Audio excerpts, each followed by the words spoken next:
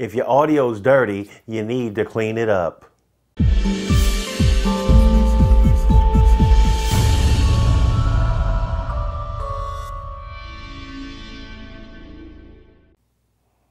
Hey Power Director peeps, how y'all doing out there? My name is Malik and I'm back on your screen with more Power Director goodness from Power Director University.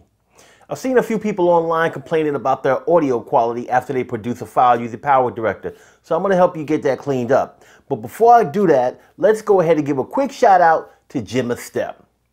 Jim makes videos on his YouTube channel for gaming and travel. And he makes those videos using Power Director and he's a subscriber to this channel. Do me a favor, head on over to Jim's channel, check it out, watch a few of his videos, and if you're feeling what he's dealing, subscribe to his channel. All right? And if you want to go ahead and get a shout out for your YouTube channel, go ahead and go to the video description and fill out the shout out request form. Now that we're done with the shout out, let's get down to business. If you've been having audio issues with your produced H.264 MP4 files, I'm going to show you how to clean up that audio using a hotfix that was provided by Cyberlink. So I'm going to give you some information about why the issue is happening. Then I'm going to show you where to download the file and how to go ahead and put it into the program to take care of that audio issue. So let's go ahead and get things started. All right, Power Director peeps. Right now I have a program open called Media Info.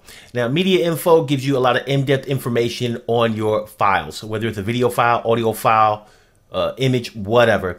Um, I will have a link to this program in the video description if you'd like to pick it up so that you can get more information about your assets and files. So the reason why I have this open is because I've pulled in a video clip to give you some information on that clip. Now the clip I have in here right now is the MPEG-4 file. You can see here under format. Now under video, it's uh, AVC, AVC HD to be precise, advanced video codec. And then if you go down to audio, it has a format AAC, advanced audio codec. Now, advanced audio coding or advanced audio codec is the audio standard for MPEG 2 and MPEG 4 videos. So anytime you have a MPEG 4 or MPEG 2 video, the audio should be AAC. So AAC is compressed audio. Now what it does is it makes the file smaller, but it also creates lower quality because the file is compressed and, and because the file bitrate is a little bit lower than things like a PCM file or what many people refer to as a WAV file. So these are the files that are causing issues when they are produced using Power Director. So what Cyberlink did was they created a hotfix to address this audio issue so that when you produce a AVC HD or H.264 MPEG 4 file, the audio is cleaner, it's better, it's clearer. Before we get started with doing that, we have to do a few things to get our computer ready so that we can see the file location. First thing I'm going to do is I'm going to go down here to the task area. And in the search box, I'm going to just type folder. And now the first option that shows up for me is show hidden files and folders. You want to click on that.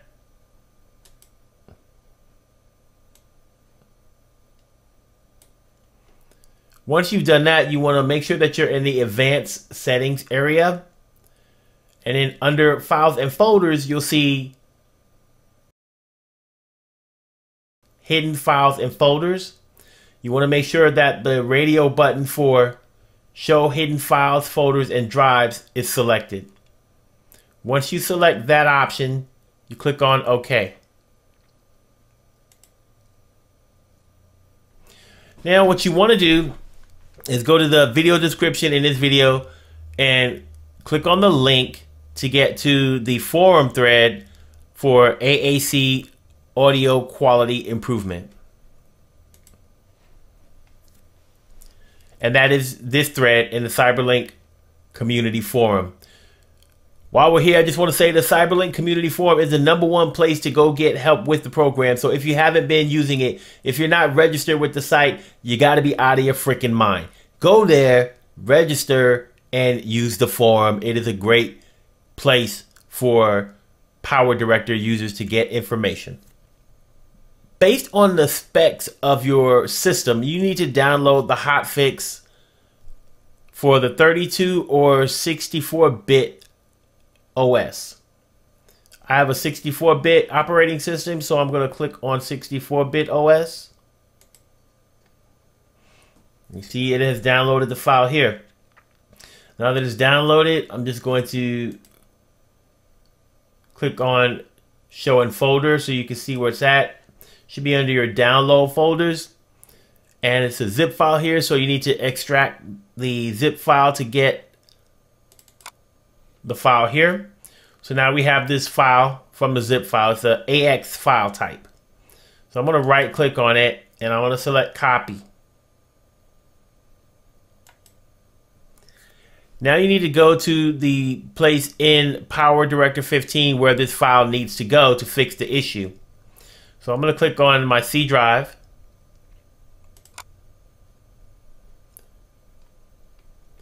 I'm going to go to Program Files and I'm going to double click that. I'm going to go to Cyberlink and double click that. Power Director 15, double click that. Runtime, double click that. And encoder pack. Double click that. Now there's already a file in here that is called CL Aud Encode. It's, I guess it's CL Cyberlink Audio Encoder, right? Is what it stands for. It's an AX file. So we can't have two of the same files in here because the file we're about to paste in here has the same name. So we're going to rename this one by right clicking on it. Going to rename. And then I'm just going to add the word backup after ENC and before .ax. Now I'm going to hit enter. And now I'm going to right click anywhere in here and I'm going to select paste and it will paste in the CL audio encoder AX file from the zip file. So I'm going to do paste.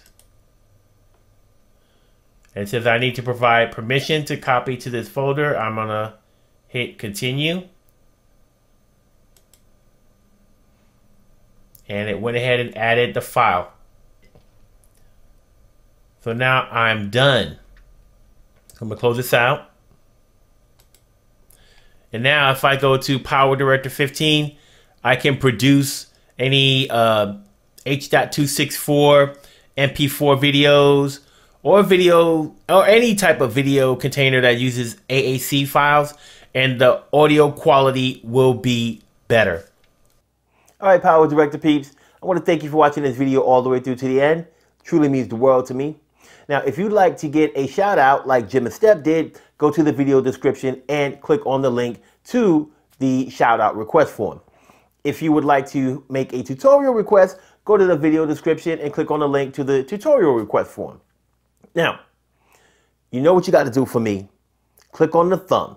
The one that's pointed in the upward direction tells people that the content in this video was good and that they should watch it too. If you got any comments, questions, leave those things in the comment section below. And last but not least, smash that subscribe button and click on the bell.